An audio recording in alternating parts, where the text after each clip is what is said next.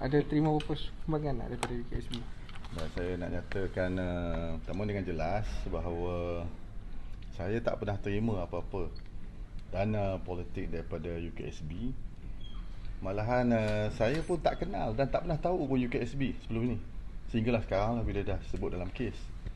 Dan uh, sebagai uh, orang politik dan juga sebagai rasa tanggungjawab saya sedia untuk beri kerjasama dan sebarang keterangan yang diperlukan dan juga terbuka kalau untuk disiasat.